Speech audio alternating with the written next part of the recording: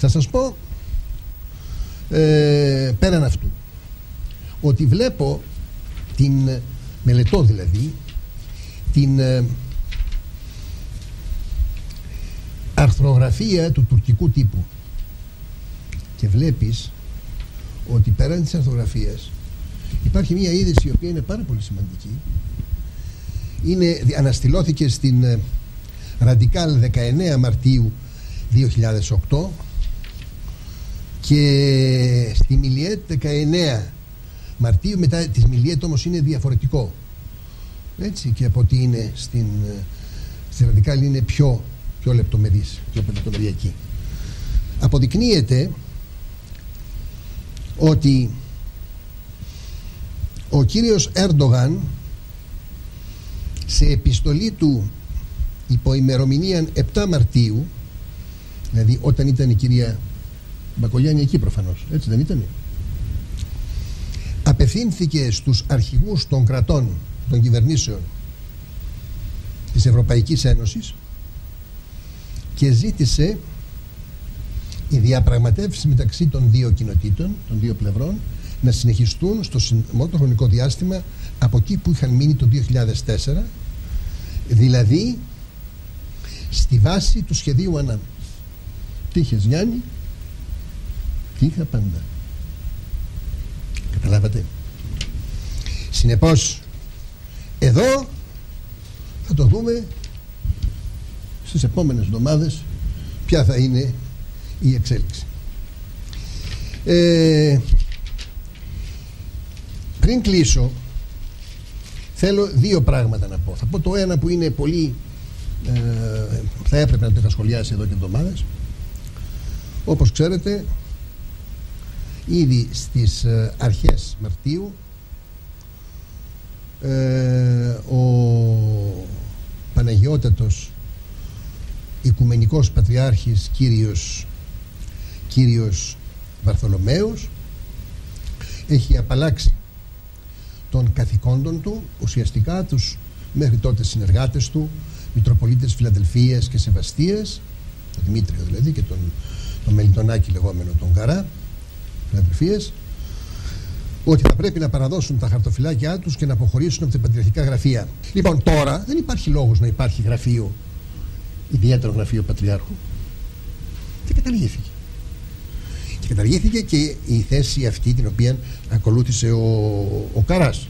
Θέλω να πω ότι είναι μια, σχολιάστηκε από τον τουρκικό τύπο και από τον ελληνικό τύπο, είναι μια ε, επενεταία χειρονομία του Παναγιωτάτου χρήζει συγχαρητηρίων εκβαθέων και φαίνεται ότι πολλά πράγματα στο φανάρι αλλάζουν επί το ε, καλύτερο. Θα έχουμε την να πούμε σε επόμενη εκπομπή. Και ε, εκείνο το οποίο θέλω να τονίσω ως είδηση. Αυτή τη στιγμή στην Τουρκία συμβαίνουν τρομακτικά πράγματα. Προχθές συνελήφθη 4.30 το πρωί από το σπίτι του, 83 ετών, ο διευθυντής της Τζουμουριέτ Ιλχάν Σελτσούκ. Το ακούσαμε. Γιατί δήθεν είχε σχέσεις με την συνομωτική ομάδα Εργενεκών. Περιτώ να σας πω, στο Εργενεκών έχουν συλληφθεί ο, ο, ο τουρκορθόδοξος πατριάρχης, δηλαδή ο εγγονός του, ε,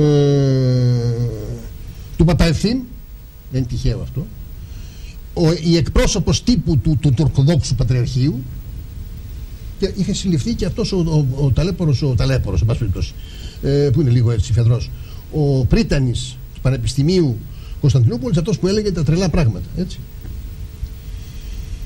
Όπως επίσης και ο αρχηγός ενός κόμματος και μαλικομαοϊκού, εθνικιστικού, ο Περιντσέκ, ο Ντογού Περιντσέκ. Πού το πάνε, όπως λέει ο, ο Ντενίς Μπαϊκάλ, είναι το βαθύ κράτος των Ισλαμιστών. Πού το πάνε; Πάνε να εκβιάσουν έμεσα όλους τους κεμαλικούς. Είναι όπως εδώ γίνεται και λένε η Τρόικα. Δηλαδή ο Άνθιμος, ο Καρατζαφέρης, ο Ψωμιάδης. Εκεί λοιπόν δημιουργείται αυτή η εικόνα. Ενώ υπάρχουν οι γκρίζοι λίγοι που είναι ακροδεξιοί του κερατά δηλαδή είναι τελείως φασιστικό να πούμε έτσι. Να το πούμε και ιστορικά να το δούμε. Ε, αλλά είναι το ίδιο το Ισλαμικό κόμμα.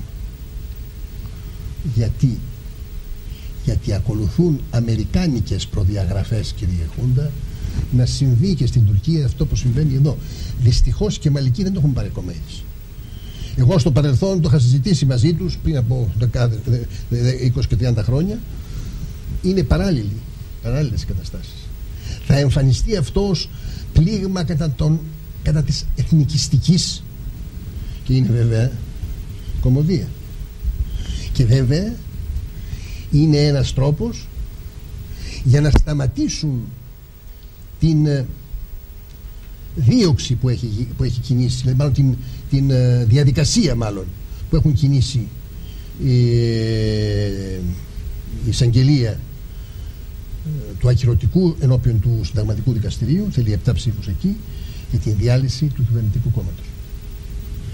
Δηλαδή έχουμε εξελίξεις που τρέχουν, αλλά οι εξελίξεις αυτές θα πρέπει να ερμηνευθούν και να κατανοηθούν μέσα σε ένα ευρύτερο σχέδιο το οποίο σχέδιο λέει το εξής πολύ κοντά. Και γι' αυτό η κυρία Μπακογιάννη γράφοντας τα παλιά των υπαδομάτων όποια, όποιες ε, ε, ενστάσεις θα μπορούσαν να είχαν προβληθεί πήγε να στηρίξει τους ε, Ισλαμιστές. Γιατί; Γιατί αυτή τη στιγμή οι Ηνωμένε Πολιτείες στηρίζουν μέχρι τέλους τους Ισλαμιστές διότι με αυτό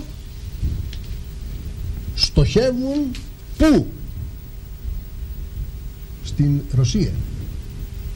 Και θυμηθείτε τι γίνεται με τον Φετχουλά Γιουλέν και τα σχολεία, τα νοσοκομεία. Τώρα άκουσα σε μια είδηση εδώ και στην, στο, στο κουρδικό Ιράκ και νοσοκομείο και πανεπιστήμιο ετοιμάζεται να ιδρύσει. Δηλαδή θέλω να πω ότι θα πρέπει να έχουμε ε, τα μάτια ανοιχτά και να αποβάλουμε οποιαδήποτε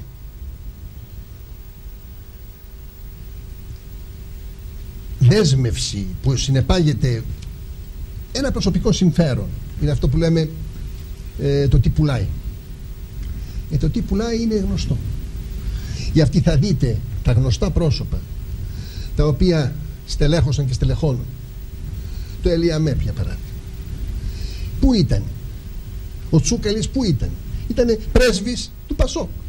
Πότε; Όταν ήταν εθνικιστικό το Πασόκ μετά το 85 αλλάξανε ή ο, ο Καζάκος Πασόκ ήταν και μάλιστα τους είχε κρατήσει και ο Σαμαράς και έλεγε μα είναι δική σας έτσι. Λοιπόν, είναι άνθρωποι ε, για κάθε εποχή.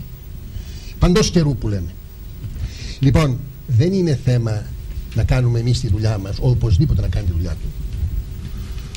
Ε, με οποιοδήποτε συμφέρον ηθικό ή υλικό και ονοή του. Το πρόβλημα είναι πώς να δούμε την πραγματικότητα έτσι όπως είναι και να δούμε την πραγματικότητα έτσι όπως συμφέρει στην Ελλάδα και στον λαό της.